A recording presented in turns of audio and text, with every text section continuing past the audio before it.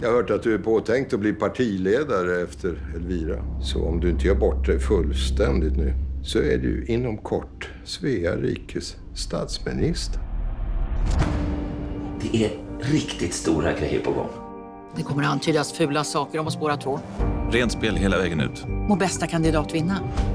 Jag vill jobba för någon som jag tror kan göra skillnad i världen och jag tror att du kan det. Jag tror att du kan bli Sveriges nästa statsminister och jag skulle göra allt för att det skulle bli så. Hallå allihopa, kan jag få lite tystnad? Jag tänkte bara presentera vår nya stjärna, Josefin Sparre. Känner du honom? David Erling? Jaha. Nej. Ryktet säger att han är rätt svag för unga kvinnor. Så du låg inte med henne? Nej, jag låg inte med henne. Du, om jag ska kunna hjälpa dig, då måste jag veta allt som händer. Allt!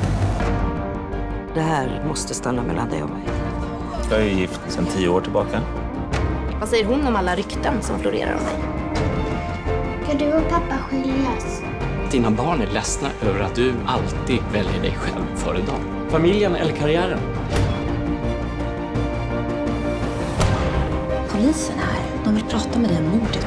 David Erling. Visst var det väl så att han i allra högsta grad var inblandad i den här affären? Vad är du ute efter egentligen?